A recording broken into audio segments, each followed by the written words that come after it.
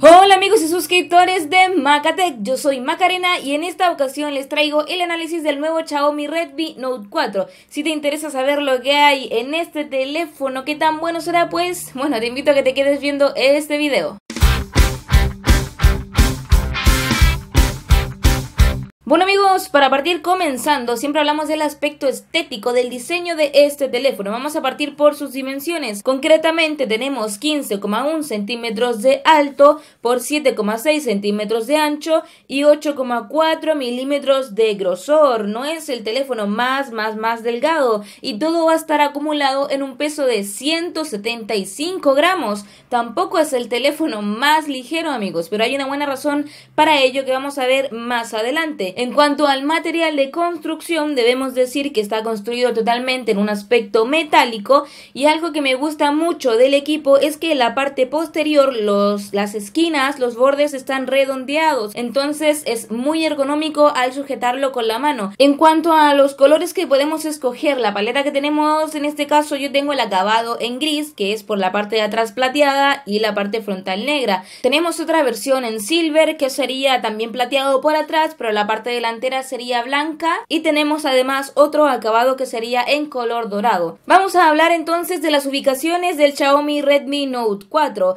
En la parte frontal tenemos, bueno, el parlante dedicado para las llamadas, tenemos la cámara frontal y a su costado, que la verdad no se nota, pero tenemos el LED de notificaciones. En la parte de abajo de la parte frontal, digamos, tenemos los botones capacitivos, los botones de navegación que están incluidos en el cuerpo del equipo. Podemos ver que están biselados o dibujados en el, en el dispositivo, pero además estos botones serían retroiluminados. En uno de los laterales tenemos la ranura para poder incluir nuestra doble SIM o bien en vez de una SIM puedes incluir tu micro SD. En el otro lateral tenemos los botones para subir y bajar volumen junto con el botón de encendido y apagado. En la parte de arriba tenemos el conector para los auriculares de 3,5 milímetros. Tenemos también un puerto infrarrojo y un micrófono de cancelación de ruido. Abajito tenemos no se confundan, no es doble parlante. Uno es el micrófono de las llamadas, el otro sería la conexión micro USB para cargar nuestro teléfono y tenemos ahora sí la otra ranura que es el parlante altavoz. En la parte posterior tenemos la cámara principal, tenemos el flash LED de doble tono y tenemos además un sensor de huellas dactilares. Y por supuesto tenemos el logotipo de Xiaomi con la MI tan característica de esta marca. Vamos a hablar ahora en cuanto a la pantalla que tenemos en el Xiaomi Redmi Note 4.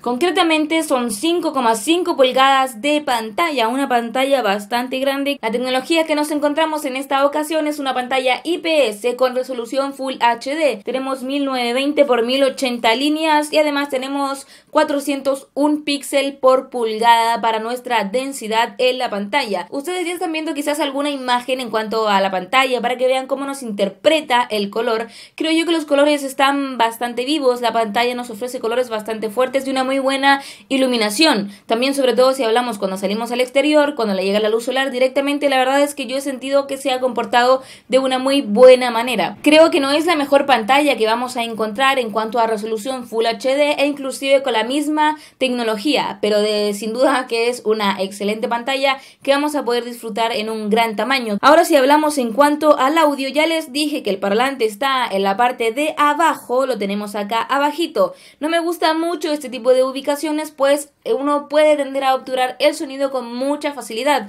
sobre todo si estamos jugando quizás algún juego que requiera que tengamos el teléfono de costado, o sea, de manera horizontal y tengamos que sujetarlo por las dos esquinas. Así se obturaría de manera muy fácil el sonido o también si estás viendo un video y lo agarras con las dos manos. Pero sí que en cuanto a calidad y a volumen se escucha bastante bien y también bastante alto. Aquí tienen también un pequeño tráiler para que puedan escuchar esto que les estoy comentando. Las cigüeñas entregan paquetes de cornerstore.com. ¡Los teléfonos nuevos! Siempre entrega.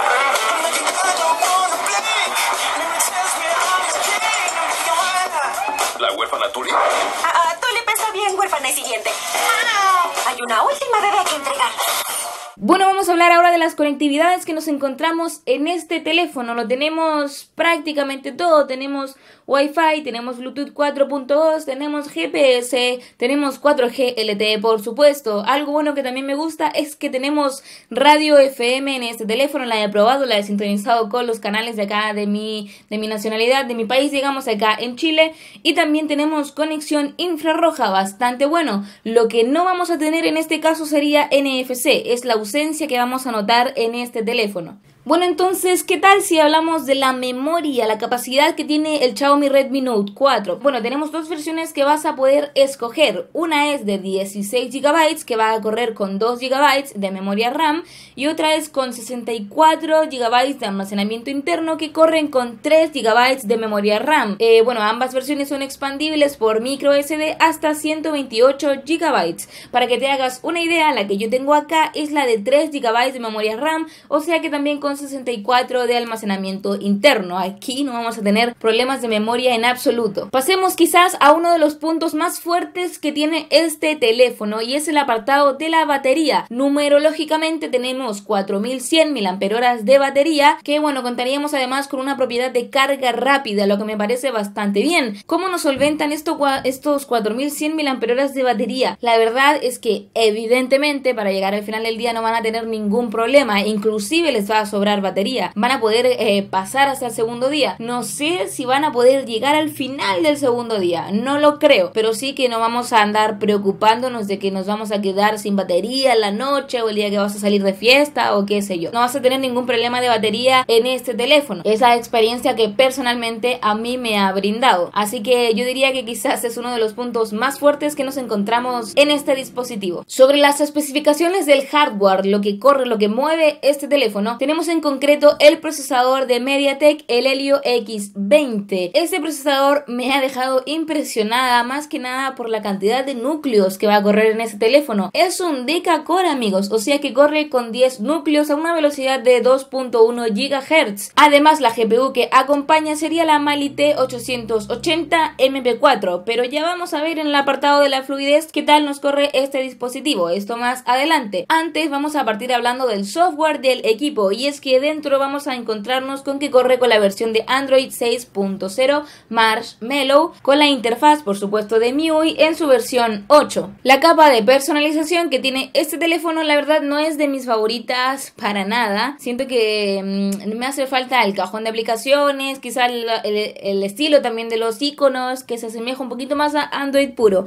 Lo que sí es que por supuesto, como ustedes se pueden dar cuenta, trabaja fluidamente sin ningún tipo de problemas, evidentemente eh, algo que sí me ha gustado mucho es el aspecto de la barra de notificaciones, pues se asemeja bastante a lo que podría ser Android stock y la, navegación que tenemos incluso con los toggles, así que me ha, me ha gustado en este, en este aspecto particularmente, pero que trabaja muy bien, evidentemente trabaja sin problemas. Algo que también vamos a poder hacer dentro del software de este teléfono es poder calibrar el color y los contrastes que nos entrega esta pantalla. Vamos a poder ajustarlo según a nuestro gusto, me parece muy bien si quieres ir hacia colores un poquito más cálidos o de repente hacia colores más fríos, dependiendo de la luz en que te encuentras, eh, etcétera, digamos. Vas a poder modificar estos parámetros. Algo que para mí es indispensable en cualquier tipo de teléfono es la función de poder despertar el dispositivo con un doble toque en pantalla. Para mí esta función realmente es fundamental si voy a escoger un teléfono personal, es una de las opciones que me gusta que tengan los dispositivos. Además tenemos también una, un acabado de temas con el que vamos a poder personalizar más nuestro teléfono. También otra cosa que podemos hacer es modificar la barra de notificaciones, o sea, me, refiero a cómo se visualiza la barra de notificaciones. Podemos hacer que las notificaciones y los toggles, digamos, los accesos de navegación, esté todo combinado en un mismo sector. Cuando deslizamos el dedo hacia abajo que se vea todo en conjunto. O también podemos dividirlo, que al deslizar se vea solo la notificación y si nos desplazamos hacia la derecha, ahí se vean los toggles como el wifi, como la navegación de datos, como la linterna, etc. Así como también Vamos a poder modificar la posición en que se encuentran estos toggles, cuál se ve primero, ordenarlos digamos a la manera que a ti más te acomode. Siempre son muy buenos estos puntos de personalización. Otro punto que a mí también me gusta bastante es que podamos incluir un indicador de batería, del porcentaje de la batería en la parte de arriba de las notificaciones. Es un punto muy a favor que siempre tiene que haber en cada teléfono, creo yo. Otra cosa interesante que es muy llamativo es que podemos agregar una función de segundo espacio. Esta opción lo que nos hace es entregarnos como un segundo dispositivo. Es como clonar tu dispositivo. En un primer espacio, por ejemplo, puedes descargarte, no sé, cierto tipo de aplicaciones, eh, configurarlo de cierta manera, personalizarlo, etc. Y tienes el segundo espacio, quizás eh, para agregar otro tipo de aplicaciones, personalizarlo de otra manera. Es como agregar un segundo teléfono, pero desde cero. A eso me refiero, porque no tienes las aplicaciones que habías instalado anteriormente. Me parece una función, una función bastante particular, la verdad. El fin que yo le podría encontrar quizás es si vas a compartir tu teléfono quizás con tu con un familiar, con tu hijo o con alguien. Otra cosa característica que tienen la mayoría de dispositivos es el modo simplificado que básicamente lo que hace es facilitarte la experiencia dentro del launcher que tienes en ese teléfono. Son más dedicadas creo yo a la gente adulta mayor o a niños muy pequeños que les puede eh, costar un poquito el tema de la tecnología. También tenemos otro apartado modo niños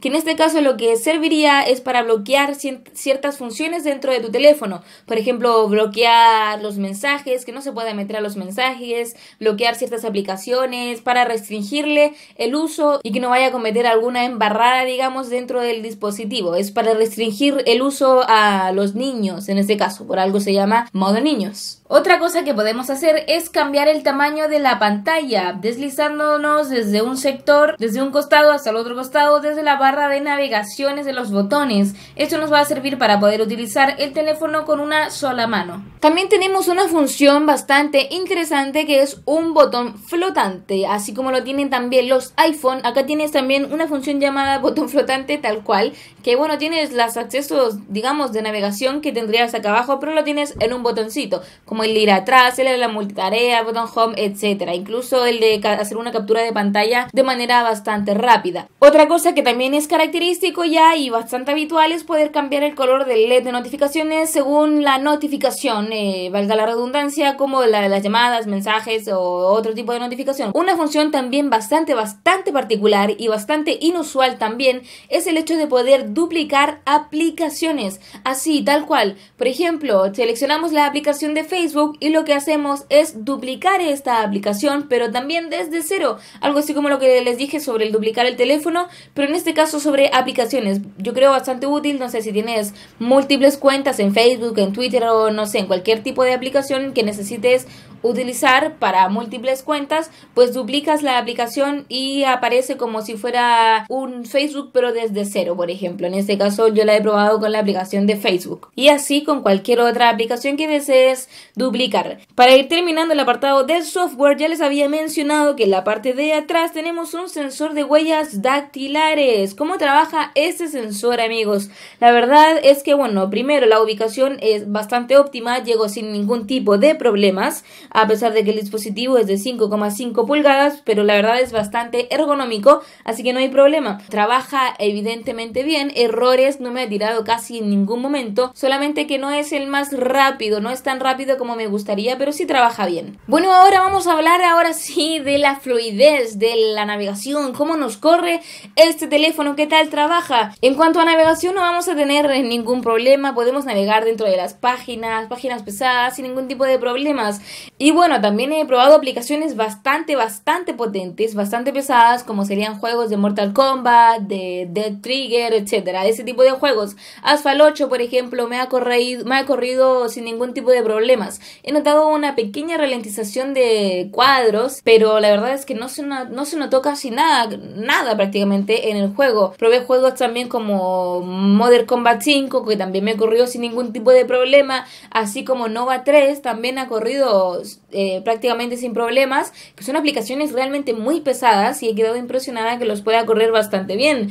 Lo que sí he notado y no puedo dejar pasar es que en aplicaciones en particulares como eh, Mortal Kombat, sí he notado que se ha caído bastante más evidente los cuadros. También en la, aplicación de los superhéroes de Marvel, también he notado una pequeña aquí poquito, pero pequeña ralentización. Y en Death Trigger ahí sí que ya me dio bastante más lag. De hecho me costó un poco poder jugar porque no iba lo tan fluido que yo hubiera esperado. De todas maneras vas a poder jugar juegos pesadísimos casi sin problemas. Y aquí nos damos cuenta que tal vez el dispositivo no es un tope de gama, evidentemente que no. Pero esto en general, el apartado de la fluidez tiene uno que otro puntillo negativo, pero vamos a poder trabajar dentro de él casi sin ningún problema. Bueno amigos, ahora vamos a hablar de un apartado, quizás el más importante para mí, de un teléfono para distinguirlo de un realmente tope de gama a uno que tal vez no, es el apartado fotográfico. Aquí vamos a ver qué tal trabaja esta cámara. En cuanto a la cámara principal, la cámara trasera tenemos 13 megapíxeles con una apertura focal de 2.0. Tenemos autoenfoque también y por supuesto tenemos el flash LED de doble tono en la parte posterior. Ustedes supongo que ya están viendo algunas de las imágenes y se pueden dar cuenta que evidentemente de día la cámara se ha comportado estupendamente bien. Yo he quedado realmente sorprendida con la cantidad de detalle que me ha entregado la fotografía. El color también encuentro que está bastante bien interpretado, muy fiel y acorde a la realidad sin sobreexponer mucho los colores. No es por supuesto la mejor cámara que nos vamos a encontrar en un dispositivo de Android o de telefonía en general, pero es una cámara que trabaja muy bien y creo que está bastante decente y bien acorde al precio en el que nos encontramos en este sector. Bueno, en cuanto al apartado nocturno, podemos ver que evidentemente aquí aparece el ruido, como sería en cualquier tipo de cámara.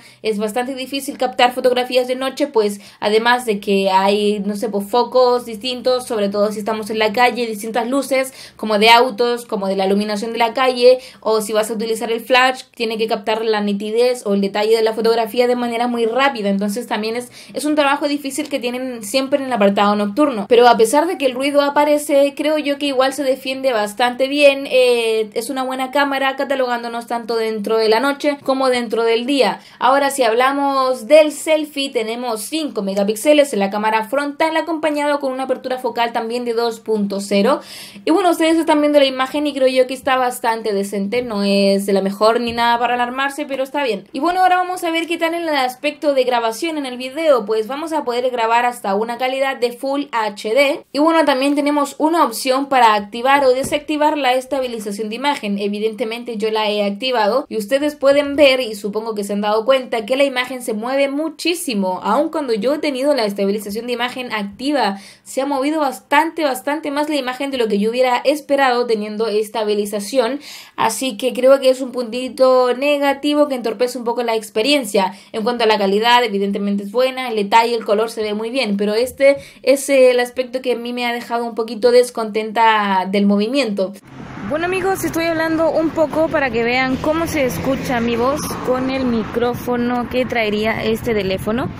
Cómo sonaría, digamos, en el sonido ambiente. Miren, ese es mi perro, se los presento, se llama Watton. Saluda Watton, saluda.